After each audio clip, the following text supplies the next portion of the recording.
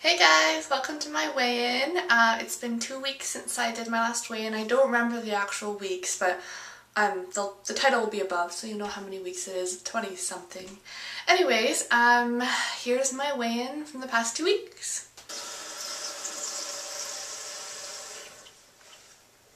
So if you couldn't see that, that's 181.0 and I'm so excited about that. Um, I'm excited because that's like what, two and a half pounds? Yeah, two and a half pounds down from two weeks ago, which is super awesome. And it's so darn close to my next goal. My next goal was um, 180 pounds, so it's like, what, 0.1 away from 180 pounds, and I'm so excited. And I really want to see the 170, so I'm hoping my next weigh in two weeks from now I hope I will have met my 180 goal and surpassed it and I can see the 170s.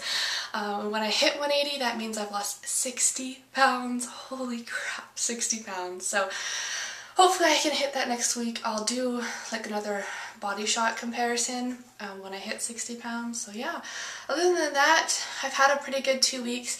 Um, I've stopped breastfeeding within these past two weeks, if you didn't see that update. Um, so I felt comfortable dropping a whole bunch more calories. I think that's why uh, my weight loss has got, has been picking up a little bit. Um, as far as like the Body By Vi shakes that I've been doing, I've been doing two shakes a day for the most part instead of one shake a day so that's definitely helped to drop my calories um, and I haven't found that I've been extra hungry so that's been really good. I'm still working out a ton. I work out like four days a week right now.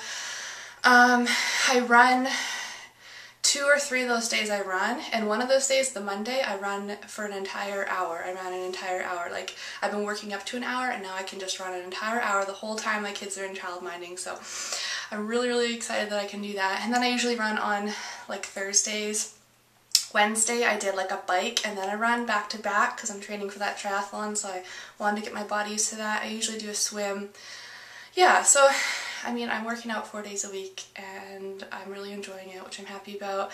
And anyways, that's that's it for my update. I am down two and a half-ish pounds and hopefully it can continue.